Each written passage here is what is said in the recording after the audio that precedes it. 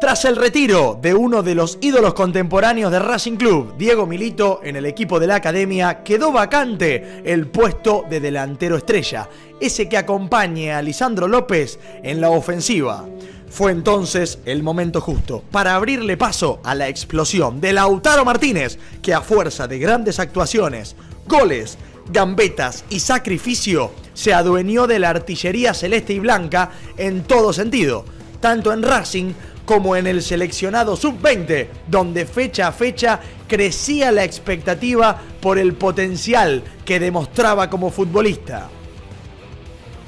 Tan bien lo hizo en su club que los ojos del entrenador de la selección argentina por aquel entonces, Jorge Sampaoli, quedaron encantados por su desbordante talento. Tanto fue así que lo siguió bien de cerquita en el palco del cilindro asistiendo a diversos compromisos en los que Lautaro Martínez dejó el alma para convencer al seleccionador de convocarlo para vestir los colores de su país en la selección mayor, destacando un gran partido en donde le marcó un hat-trick a Huracán por el campeonato argentino. Sampaoli, conforme con lo ofrecido por el bayense, lo invitó al predio de Seiza para dialogar personalmente con él y preparar su primera convocatoria con Argentina. Así me lo contó el propio Lautaro en esta entrevista que hicimos para Secta Deportiva. Y hace poco, según tenemos entendido, pudiste comunicarte con el actual técnico de la, de la selección mayor, que es Jorge Sampaoli. ¿Estás ilusionado con, esta posibilidad de vestir la, camiseta argentina ya en la selección más importante? Sí, sí, obviamente eh, uno va a poco, más ahora con, con, lo que me toca vivir eh, con esta lesión, pero tuve una charla con él muy positiva, lo pude conocer, eh, pudimos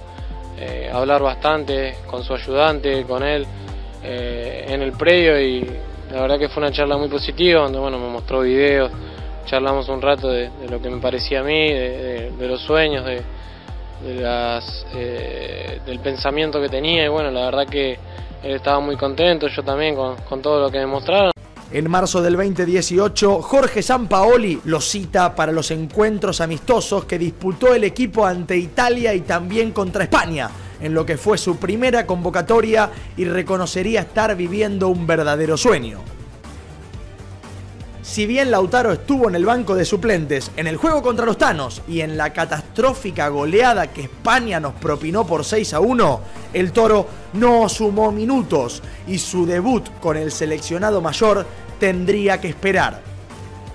El Mundial de Rusia estaba en el horizonte y Lautaro integró la lista de 35 jugadores con posibilidades de viajar al viejo continente para disputar el certamen más importante del mundo.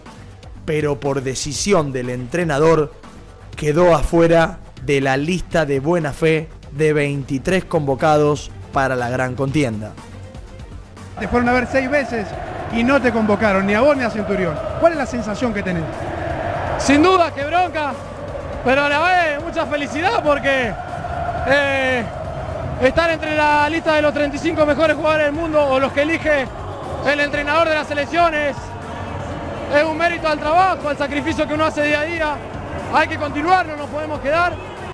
En este momento se originó una pica folclórica característica del fútbol argentino contra algunos de los clubes más grandes del país, como Boca o River, que más adelante veremos cómo pujaban a través de los medios de comunicación para hacer ingresar a los suyos en la posición del toro. Y claro, quienes comenzaron todo, los hinchas de Independiente, eternos rivales de Racing, que celebraron su no convocatoria al Mundial y en cambio sí el llamado para su mimado, Maxi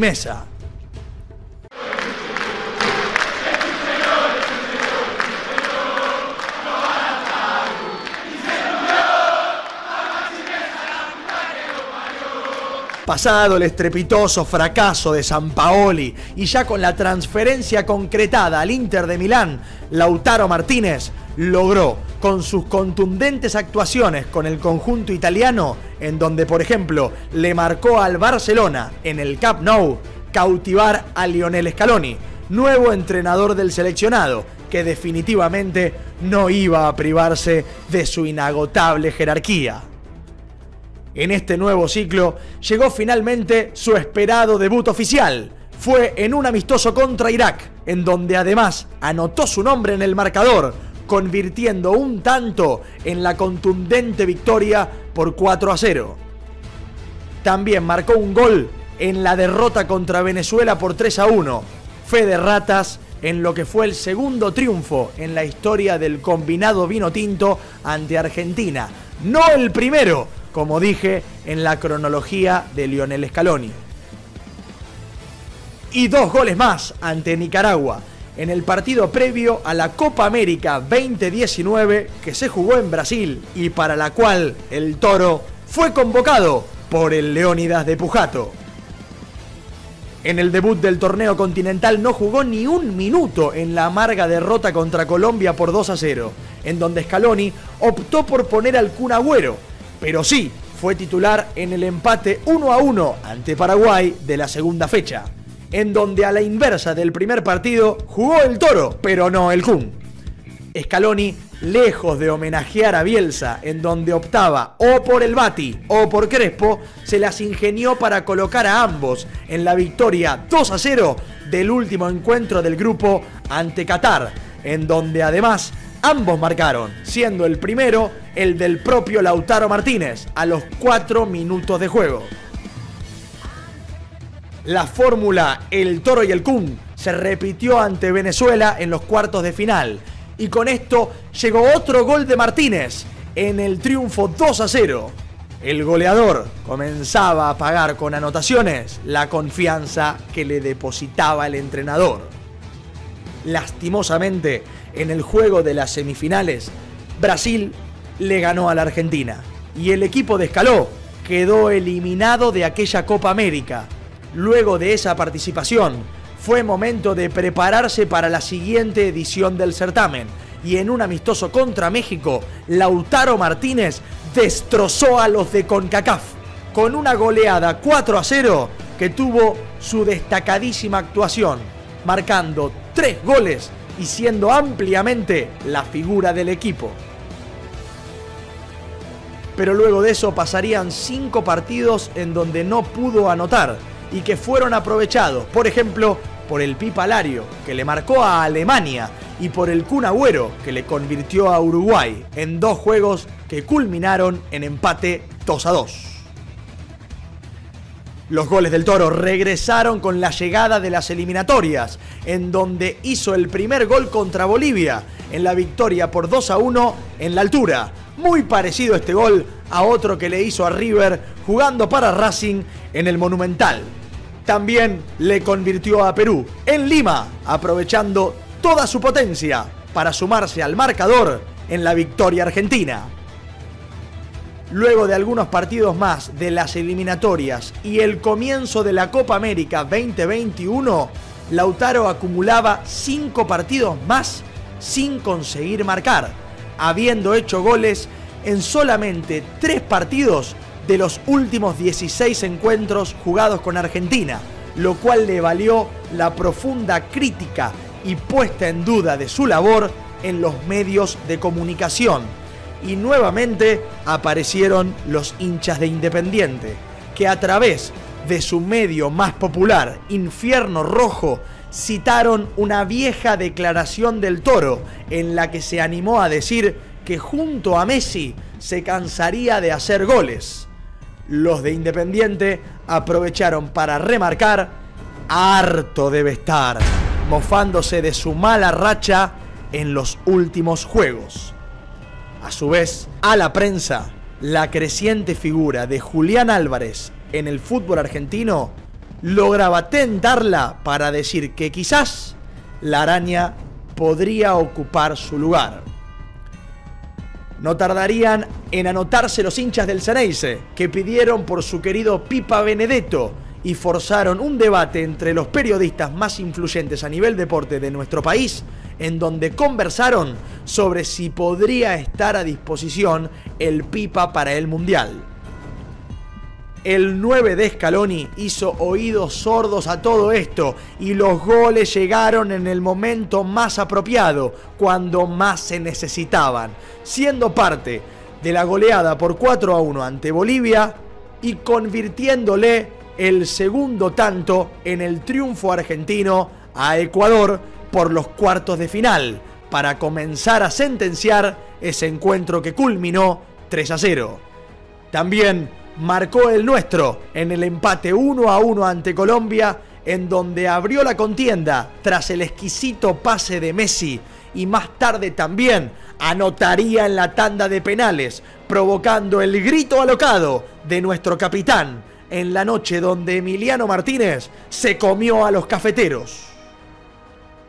La selección se coronó en el Maracaná con el gol del vaselinero Ángel. ¡Y María!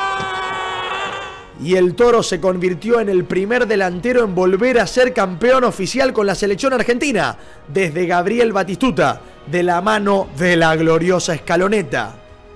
En el partido de las eliminatorias ante Bolivia, en donde los jugadores festejaron el título con su gente, Lautaro no pudo contener las lágrimas de tantas emociones internas allí provocadas por el esfuerzo entregado para llegar hasta este lugar largó un llanto apasionado, demostrando su gran amor por los colores argentinos.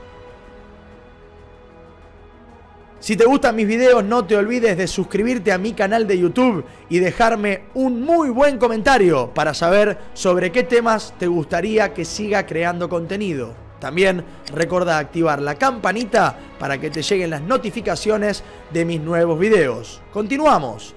Desde entonces el bahiense se destapó por completo. Llegaron más goles contra Venezuela en el triunfo 3 a 1 por las eliminatorias, una anotación ante Uruguay en la goleada 3 a 0 que la escaloneta consiguió en una de sus mejores presentaciones y un golazo de cabeza a la carrera contra Perú.